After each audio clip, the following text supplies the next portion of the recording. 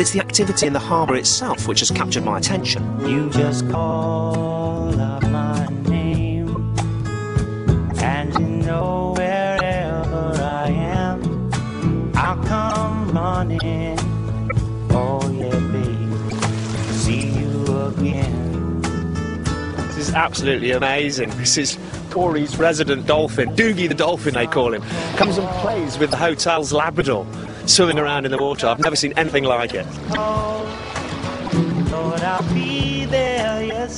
And it's not just a one-off. The spectacle can be seen most days in the harbour.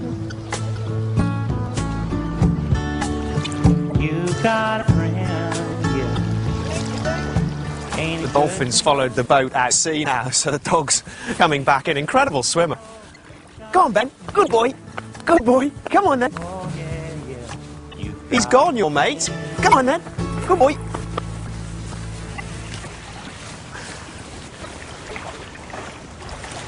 Good boy. what are you like? Here, here.